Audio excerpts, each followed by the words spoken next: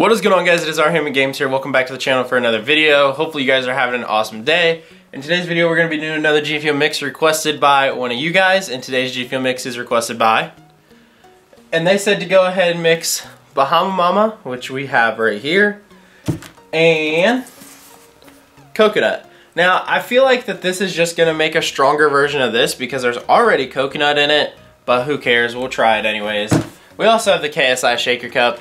Um, and I just want to go ahead and make a comment for everybody saying that I didn't put the last person's comment in a mix video. Look, you can't be perfect every time, okay? I'm sorry to that person whose mix that was, but sometimes it just happens, you know? There's half a scoop of Bahama Mama going into the shaker cup. And then we need to get some coconut, which if you guys missed the live stream last night, I told you guys, not a bad flavor. It's changed. Actually, I also let you guys in on a little secret that my rankings list has already changed a lot because I've rehad some flavors since I ranked that list and uh, yeah. There's half coconut going in. Put the lid back on it. Put it back here. Also, I told you guys I was going to do an updated G Fuel collection on Friday. That's going to get postponed till like maybe the first first or second week of February because we're to be doing something else on Friday, starting like a new like series on the channel. So don't miss that. We got them both in here. Let's go and check this out.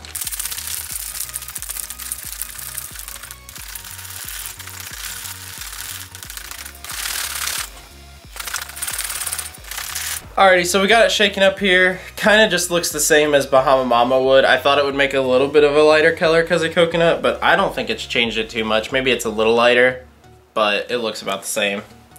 Let's go ahead and have a smell here. Bahama Mama. That's what I smell. Alright, let's go ahead and try this. This is Bahama Mama and coconut. I'm pretty sure it's going to taste the exact same, just a little bit stronger of coconut.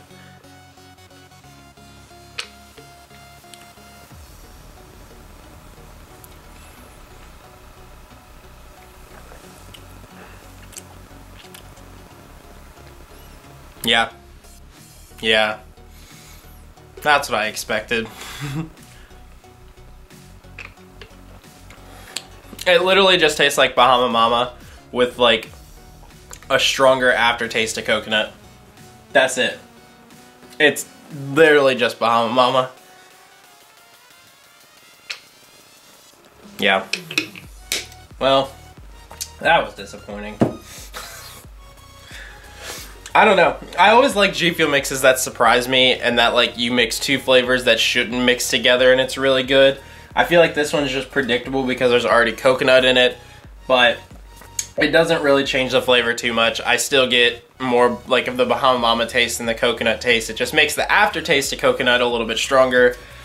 Um, but yeah, so with that being said, if I had to go ahead and give this one a rating as far as the G Fuel mix, I'm only to give this one like a four or a five out of ten just because it doesn't do anything to the flavor, you know? It doesn't make its new, like its own new flavor. It just barely enhances the one that it uh, is already there, so, oh well. But uh, anyways, I guess if you guys have these two flavors, go ahead and try them for yourself. It's not like that big of a difference, so maybe just save that half a scoop and don't even do it. Um, but yeah, that's to do it for me in this video, guys. Hopefully you guys enjoyed it. If you guys did, smash the like button down below. Remember to subscribe to the channel for more videos, and I'll catch you guys in the next one.